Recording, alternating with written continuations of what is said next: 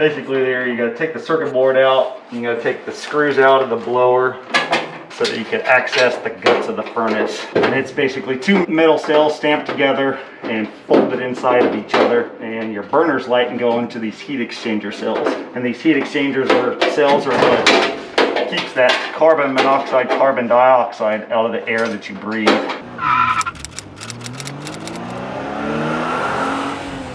All right, so now I have the circuit board out and the blower out so that I could get inside and kind of check the guts of this furnace. And basically what I'm gonna do is I'm gonna crawl in there and look with my flashlight and my mirror up inside this thing. Basically the heat exchanger is kind of like a serpentine.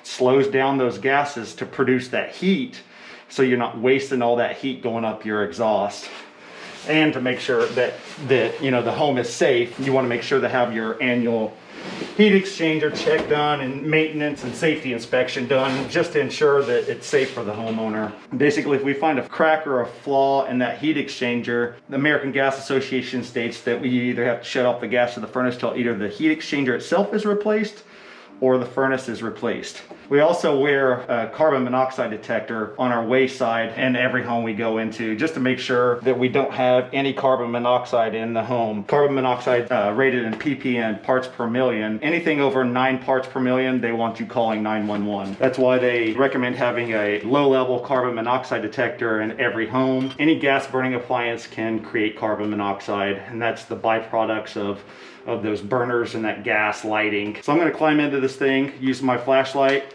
and my mirror and just go side to side in this thing and just to make sure that there aren't any cracks or flaws and that this is safe for the homeowner.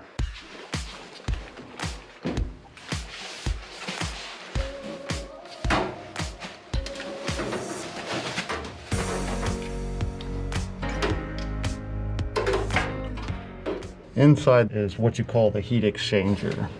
And this heat exchanger, this, this one is made up of five separate cells.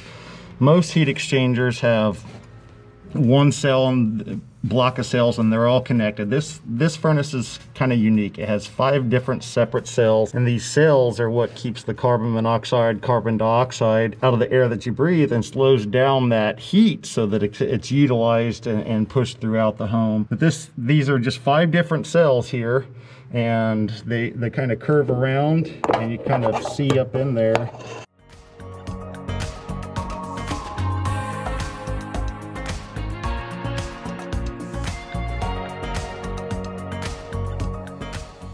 we take safety uh, as a serious thing. We just want to make sure that the flue piping, gas piping, heat exchanger, that sort of thing is safe in the home. I'll put things back together, make sure everything starts back up and, and uh, check out the rest of the safeties, the, you know, the gas lines and where the connections are, make sure there aren't any gas leaks make sure that this flue piping is not soft or brittle to the touch because if it's soft or brittle to the touch, then that means it's breaking down. That's more of a chance that that carbon monoxide can leak back up into the home. But this exhaust piping goes up through and up through the, the cavity of the home and that exhaust goes out the roof of the home unless it's a, a high efficiency furnace. And on a high efficiency furnace, then it'll go out the side of the house. But yeah, you just wanna make sure there are any cracks or flaws or anything in that pipe that it's nice and sturdy.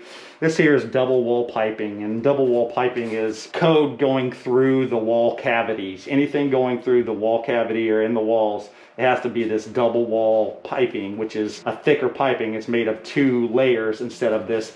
If you can see here, this is this is a single wall piping and that single wall piping gets hotter. If it's going through the wall, then it, they want that those gases to be cooler and that piping to be cooler as it goes through that wall cavity. But basically I've looked over this heat exchanger, made sure there aren't any cracks, holes, flaws.